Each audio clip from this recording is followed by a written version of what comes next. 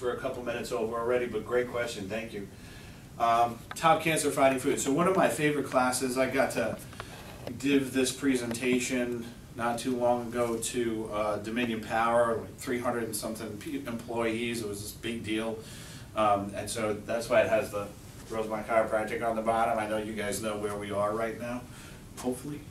but uh, so it was a big, big talk. And so I've taken it, I've tweaked that talk a little bit um, and added a couple little things to it because this is the fourth year now I've been doing this class. So when I get something new, I, I put it in there and add it as we go. So we're going to take a couple minutes. I'm going to talk about uh, what cancer is.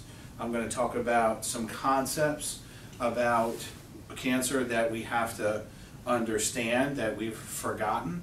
And I'm going to talk about some things that we can do with foods, simple foods, um, superfoods, powerful foods that we can use that'll help us stay healthier and prevent our chances potentially of having cancer in the future. Okay? So we know there's things out there that decrease your chances of having cancer. And when you put them all together, it's a pretty simple but very powerful message that we get when we look at it in an objective way rather than putting our heads into finite little pieces of how to cure a cancer. Does that make sense? So we take, we're going to be looking at more of a big picture of this stuff instead of all the little details of it. So the key, everything, can we agree that it's better to not get cancer than have to worry about treating cancer? Everybody agree to that? Mm -hmm. Yes? Okay. And that's true for every disease, isn't it? It'll be much easier to just prevent heart disease than look for a cure for heart disease. And unfortunately, with all diseases that kill us and get us sick, there's all kinds of treatments of symptoms of these things, but there's no cures, is there? No. There's no cure. The only thing we have is prevention. So if we are a little bit smarter and we make a little bit better choices, it decreases our chances of getting sick. That's what all the statistics and all the data show us. You with me? Yes. Okay. So prevention is the key. Number one, preventing illness, all types is the answer. Our minds work in the opposite direction. The culture, the society, the way we live, all our actions are based on treating a sickness and treating a disease when we get sick because of a simple thought that we're fine because we don't feel anything. I promise you that that is the wrong way to go about it. Thinking that the human body can take and handle every single stress, put in every single toxin, do every single thing we possibly can to it, and then act like we're shocked when we get sick one day when statistically we're all getting sick from something if we keep living the way we're living. So we have to make some changes. And my bottom line message, if there's nothing else that you get from tonight from all the details of things that we're going to discuss, is, is that tiny little changes right now are going to make huge differences for you two years, three years, four years, five years, or maybe 15 minutes from now. We don't know. Because we don't ever know when we're going to get the diagnosis, right? But we can't wait till we feel it. And one of the lines I said earlier was at that class speaking in front of these Dominion Power group of people, amazing group, and I was sitting there and I said, you know, somebody asked a question. I said, you know, we all want to eat a salad after we have a heart attack. And it just kind of came out of my mouth. And I was like, that's a great line. you know? Nobody, everybody's like, yeah, oh no, I had a heart attack and I survived, so now I'm going to change my diet. But our minds aren't like, what do I have to do so I don't get a heart attack in the first place? Heart disease or cancer or any of it. Diabetes, all of it. So, prevention is the key. Diet, exercise, and state of mind are things we're going to talk about and we're going to be addressing here when we do the class. Our real healthcare crisis is how we change unhealthy habits that we have to not get into a crisis with our health. The healthcare crisis is not the insurance company. It's not how much money we pay. It's not what doctors charge. It's not the issue. It's an issue. I get it. It's an issue. But it's not our healthcare crisis. Our true healthcare crisis is that we make decisions that create most of our diseases and sickness that shorten our life. The number one leading cause of death, a good friend of mine likes to say all the time, is stupidity, is ignorance is us making poor choices and poor decisions every day, multiple times a day with the things that we do. By choosing not to exercise because we don't feel like it because our show is on. Who cares? Record it, come back in 15, 20 minutes and watch it. Just, right? We have enough technology that we can make these types of decisions. Information, which I'm going to give you tonight to help you make better decisions, hopefully, from the minute you walk out the door today. Taking an action on that information, not just going, that was a nice class, and then tomorrow not doing anything different. And then, of course, repetition to create a new healthy habit. So anybody in here has been like, you know, I got to work out, I got to exercise, and like, I don't feel like it, I don't really want to go, I'm tired. You really, actually, you're tired because you're not exercising, right? By the way, so I don't feel like it. And then you go, and then you just finally something happens, it motivates you, it gives you just the strength to go for a walk or do something nice, and it's a beautiful day. And I walk around the block, and come back and say, well, I felt kind of good. I feel kind of good. Maybe I'll do that again tomorrow. So you had information, you took action, now you need repetition. So now you're two or three weeks in. Have you ever experienced like, nothing better get in the way of my exercise? right? You get to that point where you're like, I'm exercising, I'm feeling great, and you get kind of angry when something pops up and screws up your exercise program. Anybody feel that? You haven't gotten there yet, Tanya? We gotta, work on that. We'll work on that. Okay. We need more repetition. Because I'm like that. I'm like, I don't want to feel like I don't feel like I don't feel like it when I'm not exercising. But once I get going, it's like, don't just, everything's got to get out of my way. Because I feel so good when I'm exercising that nothing's going to stop me from exercising. And then I wonder to myself, why do I ever let anything get in my way to stop me from exercising? And let me get into these little ruts of falling out of it and then get back into it again and feeling great. So, cancer, what is it? On the most simplest of simple levels, because like I said before we even started the class tonight, it's complicated. But the most simplest levels inside of cells are what we call the nucleus. Inside that nucleus is what we have chromosomes. Everybody know what chromosomes are, right? And DNA. That's what helps the cell develop into another living cell that looks just like it when it gets tired and it gets old. If we stress a cell long enough and over and over and over and hard enough, it starts to damage the DNA inside. So when it divides, replicates, makes a new cell, that cell could be a damaged cell. If that damaged cell starts to produce more damaged cells like itself and forms a group of these damaged cells growing and multiplying inside of us, that's what we call cancer. Okay, that's as simple as I can make it. Stress on some level damages the DNA, making us make a cell that's not the same as the cell that was there before. There's characteristics about these cells that are critical for us to understand.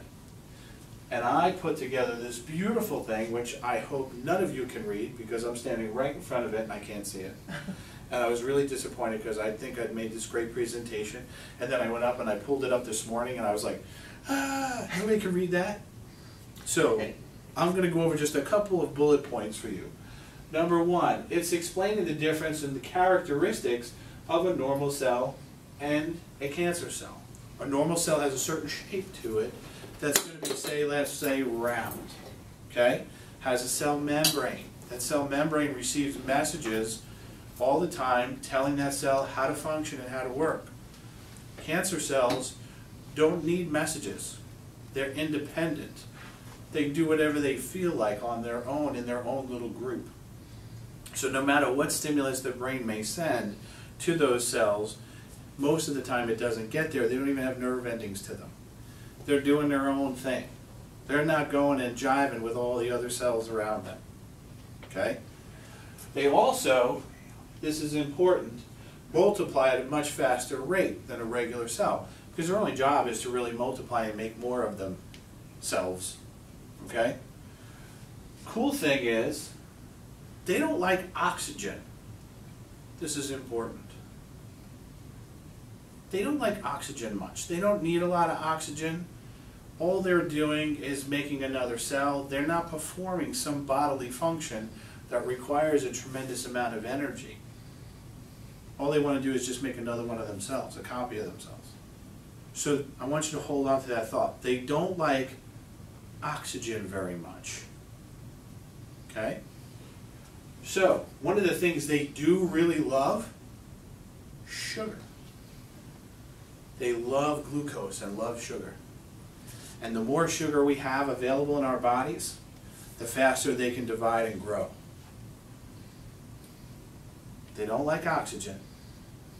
They really like sugar. And they run all by themselves, independent of what the nervous system tells them to do. Okay? That's important. Hold on to those. So, how we eat might be important, yes? Eating food is stressful to the body the way we eat.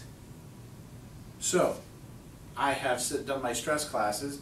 Some of you maybe have been to my stress class in the past, and you know that I contend that right now is this single, solitary, most stressful time that a human being has ever lived in. And why I say that is, for example, we could say, well, in the past there was wars. We're at war all the time. We don't even watch the news. We don't care. War. There's like five wars going on right now, right? We don't, I don't know. It's like no big deal. We become numb to it. There's horrible things happening and murders and all this stuff, all this chaos, all these things. We can only stay mad for like 15 minutes about something. Because there's another thing to be worried about and another thing to be stressed out about 15 minutes later that makes us forget about the thing we were stressed out about 15 minutes ago. It's almost a constant stressful environment that we're trying to survive in. And then we take the changes that have occurred in our culture. Look at what's happened with electronics we're bombarded with things like Facebook and things like this that give us all these messages that keeps us in contact with everybody. But man, I'll tell you what, 30 years ago, you didn't find out what was happening to your best friend or your aunt on the other side of the country until you got the letter. Right? Or somebody called you on one of those phones with the dial things on it, right? I mean, it was like you didn't know every single thing everybody did every day and what they had for breakfast and lunch and dinner and what kind of mood they were in 20 minutes ago and 20 minutes from now. And they can't sleep tonight and it pops up and rings and wakes you up because they got to tell the whole world that they're not sleeping right now. It's right? It's so invasive and so intrusive. It's great to be in touch, but it's not great how much it invades our lives and then affects us and stresses us and our bodies. And our kids, what worries me the most, are growing up this way with that constant level of stimulus of used to be you did something good or you did something bad. Now they're up and down emotionally all day long with how many likes they got and who doesn't want to be their friend on Facebook anymore. These emotional attachments. It's affecting their brain chemistry and how their brains are working. A lot of studies going into this right now. So, add food in. That is not what food just was 20 years ago, because food was not genetically modified in most of the foods that we ate, not to mention most of the foods we then fed to the animals that got so sick that we have to load them up with antibiotics and hormones and all the other kind of stuff that we're ingesting when we eat. How many, anybody ever looked on a box of something and saw arsenic at the bottom of it? ah, it's only a little bit. but how many times a day are you exposed to that and how many different things that you ate? That one little bit adds up. There's so many chemicals. In fact, if you look, I had this experience where I had an allergic reaction to a box of uh, noodle, cheesy, uh, broccoli, something. We were running around with the kids one night and the wife whipped it up and said, we need to do something quick, and here, we're gonna make this, and I woke up at like three o'clock in the morning, just blown up with the, all the hives and having this major allergic reaction, and when I got to my doctor, he said, next time eat the box, you're better off. and I, I thought it was like a joke, but I went home and I looked, and the whole side of the box was chemicals. I mean, somewhere in there it might have said broccoli somewhere, so I don't know where the broccoli was way down at the bottom, but chemicals. It was all dyes and colors and preservatives and everything that that food has to do to be processed. And we eat that all the time. Our bodies are constantly under stress. And then we don't exercise like we used to because we don't move in our society. So, more stress. We don't get to burn off those stress hormones that we naturally build up in a day. We just get stressed out and sit in front of a TV or a computer monitor or in our cars at a red light. There's no place for all that stuff to go. It just keeps breaking our bodies down. These are just some examples, but you get my point, yes? Mm-hmm. Yes. Most stressful time ever. What did I say earlier happens to a cell if it gets stressed? The DNA starts to become damaged. The more it's stressed, the more chances of damaging that DNA. So when it does replicate cells, it's going to replicate more higher chances of damaged cells. We have an immune system, T, lymphat, T lymphocytes, that go around and gobble up any cell that's not supposed to be in the body. Sometimes they miss a cell. We are creating thousands of damaged cells every day. There's some people that have some research that have put together postulating that we actually make millions of damaged cells every day. That these white blood cells have to go around and gobble up. They're not just for infections. They're trying to try and keep all our healthy cells healthy and get rid of all the bad cells that don't belong in our body too. We need them. So how we eat, the less stressful the food, the better. The less stressful when we eat, the better. So one of the things we make a mistake of is sometimes maybe not eating for a long time and then having a giant meal. That's stressful. If you haven't eaten for a little while, it's much better to have, because there's some um, information telling us fasting, you know, like not eating from dinner time till lunch the next day may not necessarily be bad, but what we usually do is we're starving, we have a giant meal at lunch, and that's very stressful to the blood sugar levels within our body and insulin and things like that. That's a problem. So we have to go with foods that are easier to digest, not too easy, because we don't want straight up sugar. Okay? And too much of anything is bad, yes? Moderation's good.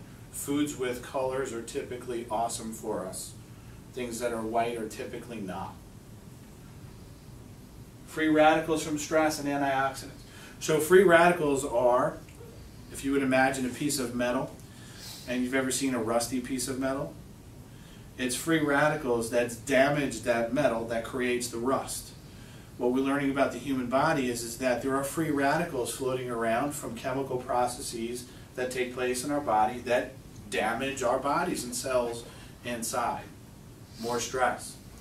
The way we help that is with what are called antioxidants. Antioxidants. So an oxidative stress is when things are breaking down. Antioxidating is good. Antioxidants are mostly vitamins. Sadly, our food supply is getting less and less and less vitamin concentration. So an apple, for example, does not have the same level of antioxidants that an apple had 20 years ago. Okay? So we need to add that somehow, some way, to try and keep that antioxidant level balanced and strong.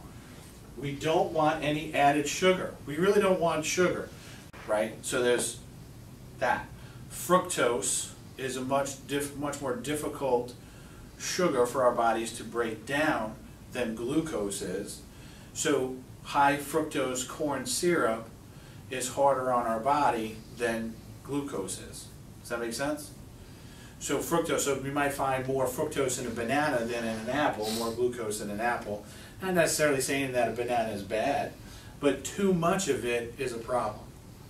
And if you remember before, what did I say the cancer cells need to grow? Sugar. Sugar. And what's in our foods more than ever before? Sugar. And what do we eat more of than ever before? Sugar. Yeah. Okay? So if we decrease our sugar levels, we can decrease our chances of having cancer cells. And if you're trying to battle cancer because you've been diagnosed with it, because you've gotten to that stage, God forbid, but if it does happen, the last thing you want to do is sit around drinking Pepsi or sweet tea or things that are loaded with sugar. And that's a super giant, extra big goal. Perfectly queued up for me. Thank you so much. we won't say what's in there. That's a big, big thing of water. Mm-hmm. so we should eat six to nine servings of fruit and vegetables each day. I'm going to take a little slant on that and say that your veggies should be at least two to one, and that if you really only have one to two fruits a day, that's pretty good because of the sugar that's in the fruit. And not because the fruit is bad, because you're really getting good nutrients and some fiber, which is good. But if you get too much, you get too much. And if you've already got too much sugar in your diet, then you're just getting more sugar, which is more damaging than the couple of extra good nutrients that are in it. Vegetables are low in sugar. It was not an earthquake. it was a foam roller hitting the camera. For those of you who watch it later, just in case we can't edit that out. so vegetables are high in fiber, so even though they may have some sugar in them, like a carrot's got a lot of glucose, a lot of sugar, but it's loaded with vitamin A, which is so powerful and so good for our bodies. And yet it's got a lot of fiber naturally in it, so even though you get it, it very slowly gets that sugar into your bloodstream, not like, and the sugar just pours into your bloodstream, right? food can be our best medicine if we use it right. So, one cool paper came out. So we, are starting to have a, a, cool like phenomena occurring right now. So the American Cancer Treatments uh, Treatment Centers of America. I'm saying it wrong, but whatever. But you guys know what I'm talking about. Yes, you've seen the commercials. So they've been coming to our chiropractic conventions, and they're saying guys, we're getting like these really cool results by having chiropractors adjust our patients that we're treating with cancer and acupuncture and you know, we're doing all this diet and meditation and yoga and we're doing all these healthy things and we're getting much better statistical data than people who are just doing chemotherapy, right? And so we're like, hey, cool. So they're doing all this research. We go back and we find this research that was done many, many years ago, and then they went back and reproduced it again and some doctors got together and they reproduced again. So I'm going to talk about some chemicals. So serum thiol, not that you really need to know what that is, but understand that it is what repairs our DNA in our body. So if our DNA has been damaged within a cell, if you have serum thiol floating around, it's going to come and attach the DNA and help it repair itself. Incredibly oversimplified explanation, by the way. So, it would make sense, they postulate, that if we have higher serum thiol levels in our body, that we have a higher chance of repairing our damaged cells. Common sense, right? So this is what they did. So they said, well, what happens when you go to the chiropractor? Let's just see. So they did this thing and they went this study and this is what happened. So they took people who were sick and their average serum thiol level was around 40 in their blood. They took people who were under three months of chiropractic care and they said, oh, there it's much higher than people who are sick. And then they took people who are under what we like to call wellness care and chiropractic. They've been getting adjusted. They're not necessarily in pain. They're just getting adjusted to keep their bodies healthy, keep their brain and nervous system communicating with their cells. Remember, they need that cell membrane, nerve endings telling them what to do, not off on their own doing their own thing. Right? Remember I brought that up earlier? So, they found that the highest serum thiol levels almost double what the sick person has in their body is what patients who are under at least six months of chiropractic care have compared to the people who are sick and people who are just healthy but only under a couple months of chiropractic care. Pretty interesting study. Yes? Yes. You have a higher level, potentially, of repairing your DNA if your body's healthier. Cool, right? Mm-hmm. School. Yeah. Kind of cool to be a chiropractor right now. Just saying. So here's some fun foods. Some of my favorite superfoods. Garlic. Yes. Everybody recognize that? Yeah. Yeah, I'll tell you what, I was I was so under the weather back in February, you know, I'm around people all the time, right? Like a lot of them, every day. And, uh, you know, we got into flu season. I have not had a flu shot, and I can't even tell you when because my immune system just naturally adapts to what's around me all the time. I don't need it. I argue with my medical doctor about it every year. Haven't gotten the flu since I don't remember when. 15, 20 years ago, actually, when I last got the flu shot, was the sickest I've been in many, many, many years. And that's when I said never again. So, anyway, garlic.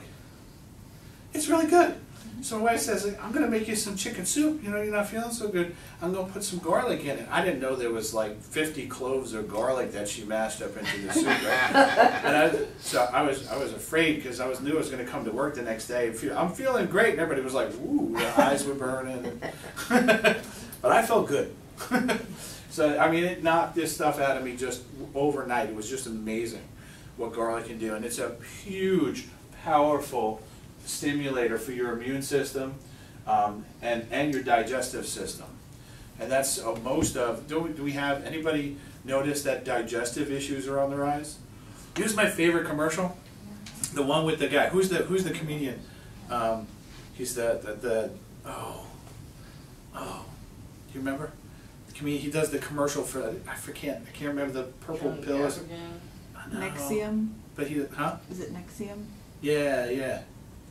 Larry the Cable Guy? Larry the Cable Guy, and he's out there. He's riding the jet ski around, and we see this. And it goes through like this ring of fire, and and he's like, you know, yeah, I know, burning and the sensation in your stomach. And but if you just take Nexium, and then he's standing there with this big like turkey leg, spicy turkey leg, you know, I'm thinking to myself, well, I think on some level your body's probably saying you shouldn't eat that. Not let's just go take a pill and keep eating the thing that's making me sick, so I can just keep getting sick. But I can't feel myself getting sick because I'm taking the pill. Doesn't it? Right? So, digestive issues are on the rise because food's just changing faster than our bodies have a chance to adapt to it. So, helps the digestive system out. We recommend at least a clove a day in your foods. Berries, a handful, loaded with antioxidants. Antioxidants help to protect our cells from free radical damage. Mentioned that before. Look at the. Is there anything white in there? No, color. Color is your vitamins, it's your nutrients. That's what makes these things have the color that they have. Things that are colorful are healthy. Okay? It can slow, actually been shown in some studies to slow down the spread of cancer just by eating one handful of berries a day. Interesting, yeah? Another research studies out. Tomatoes contain lycopene, helps to protect the DNA, much like the serum thiol. Tomatoes are good. And especially for men because it helps with prostate cancer. It's been shown to have people who eat more, men who eat more tomatoes have less chances of having prostate cancer. And guess what? Sauce still counts. So sometimes when you cook certain foods and vegetables, you lose the healthy nutrient that's inside of it from the cooking process, right? Whether it's because it's on a low simmer for six hours, I don't know what to, I mean, I don't know. But it, it doesn't damage it. Sauce is still contained, the lycopene's still there, even in sauce. And for some people who are into the Italian thing, it can also be called gravy. Yeah. My, my friend of mine is Italian, the, the husband and wife, they do posts all the time, sauce, gravy, sauce, gravy. So, cruciferous vegetables, I just like saying cruciferous. That's pretty fun, right? So they are the green vegetables, a lot of them green, but they're more of the flowering type of vegetables.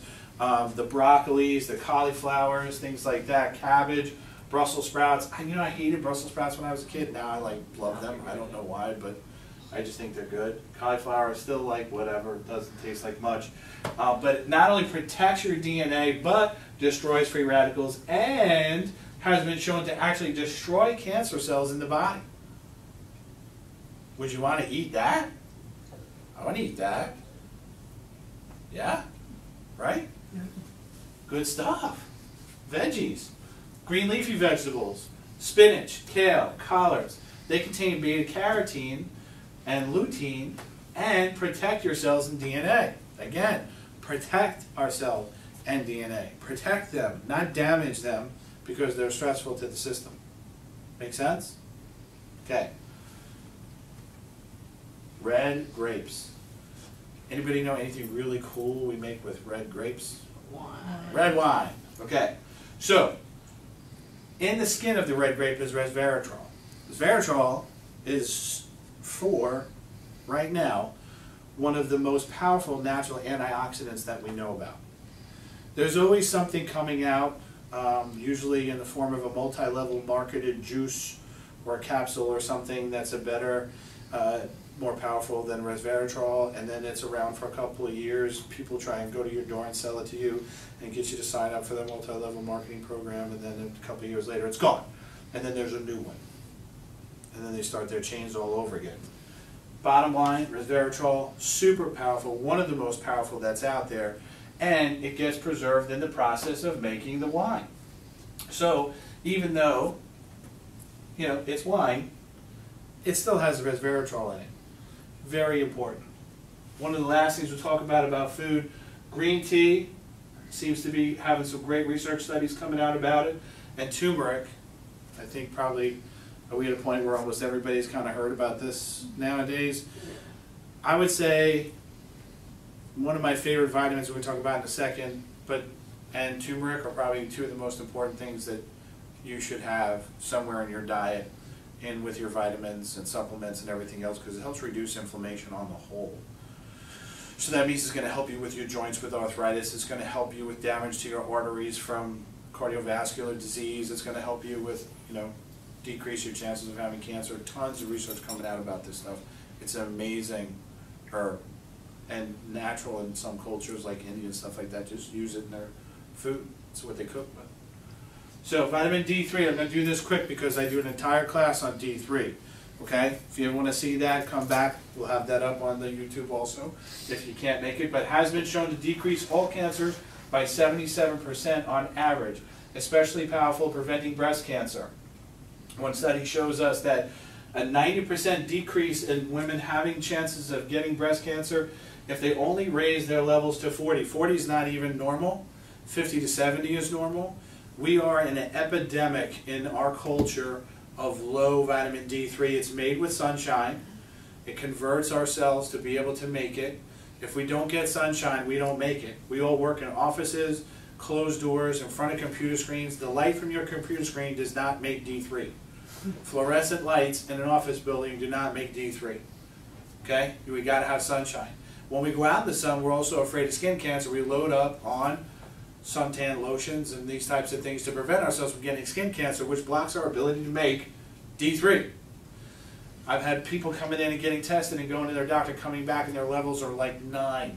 I mean, it's just like I don't know how they're alive. I mean, it's in, it's in, it's incredible how low we are in this. And then it is shown to be at you can just get it to 40, you have a 90% chance of less chance of having breast cancer. One study, it's small, but there are close to 30,000 research studies that have been done on this vitamin alone because of bone density and its ability to take calcium into the bone. And we're really low on D3, and osteoporosis is a big problem. Shock, right? This is an issue. It's a huge, huge, huge issue.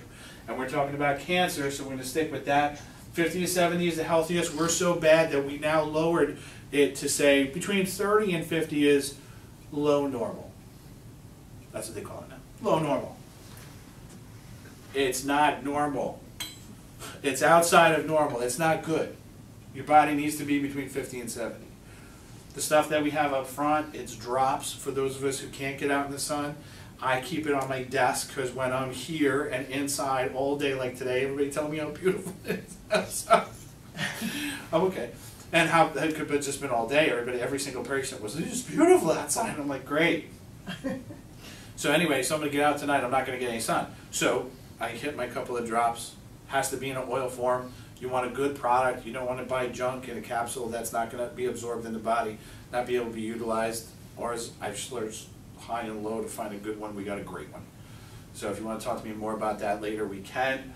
But it's we got to get these levels right. You should be going every single time you go to your doctor to get tested. You should be making sure your D3 gets tested. It's that important of a vitamin. Okay. Thousands of research studies I already mentioned. So, oxygen. How do we get oxygen to our cells? cells. I'm going to give you a hint. Can we read that? We exercise. We don't breathe deep We don't get oxygen to parts of our body. We don't get the blood flowing, carrying oxygenated blood to our body. We sit. We sit in front of computers all day. We sit in front of the TV because we're brain tired from being in front of the computer all day, not physically tired. And then we go to bed because we're tired. Maybe sometimes we fall asleep in our chairs because our brains are so tired from being in front of the computer all day. We don't exercise. We don't move. This body is designed to function because of movement. We have joints, we have muscles, we have so many joints and so many muscles and so many things inside because everything is based on us moving. That's how we get the blood around. And we have to be able to take a deep breath and get oxygen into our brains and in and around our cells. Cancer cells don't like exercise. Great study just came out recently. I didn't even get a chance to get it in here about people trying to recover. That 50 to 70 percent with colon cancers, breast cancers, and all this kind of stuff. If they exercised after their diagnosis and would, and beat the cancer, the people who exercised had less, that much less recurrence. If they exercised, one difference, not necessarily changing their diet. Worst thing I think I've ever heard as a doctor is when a patient came and told me a couple of years ago that she had beaten cancer. And her doctor said you can now go back to living exactly the way you lived before. I mean, my face got red. I could feel my blood pressure just going up into my head. I thought it was just gonna. I thought it was just gonna talk about stress. I was so stressed out when I heard that statement. I said, "Don't you think any of the decisions that you made before were what led you to have cancer in the first place? Maybe you shouldn't do everything exactly the same as you did before." And she was like, "Oh, oh. yeah, that's that's pretty good right there. That's good stuff. Yeah, you're right. I shouldn't, should I? You know, it was like, well, yeah. Well, how would you? Who would say that? You, just uh, you beat the you know get let's go right back and start smoking and drinking and you know not sleeping and you know, right? No, it doesn't make any sense. So, last thing we're going to go over here real quick. Twenty-three thousand people studied. Internals Archives of Medicine 2009 came out. Four simple behaviors: not smoking, exercising three and a half hours a week, eating a healthy diet, maintaining a healthy weight. You know, we talk about BMI and stuff like that, but 93% of all diabetes could be prevented, 81% of all heart attacks could be prevented, 50% of all strokes could be prevented, and 38% of all cancers could be prevented. That's a big study, 23,000 people, that's huge. That's not like, oh, you know, 2,000, that's like really good for a research study in medicine. There's 23,000 people. I mean, now diabetes is bad. Our biggest issue that's coming up is Alzheimer's, and Alzheimer's is now getting ready to be categorized as type 3 diabetes because it's that closely linked to that. And I've, every one of us has seen the commercials for the diabetes medicines that helps decrease the heart attacks, right? Because they're linked, they're together. What does this all have in common? Sugar! Stop eating sugar! But I love it. I know. It actually It's triggers all the dopamine receptors in your brain. It's, there's some studies that aren't they're saying it's more powerful than heroin as an addiction device. Just saying. This is my favorite quote. When you have your health, you have a thousand dreams. But when you lose your health, I gotta fix that slide. When you lose your health, you only have one. Anybody who's ever gotten sick, there's only one thing they want, and that's their health back. It's the most important thing we have. Don't treat it like it's not. Okay? Good. I'm all fired up. I'm going to close on that note. Thank you all for coming this evening. I appreciate Thank it. you. Thank you for watching our video. If you like what you saw, be sure to subscribe to our channel. Yeah, and like us on Facebook. There's always a lot of information also on our website at rosemontchiropractic.com.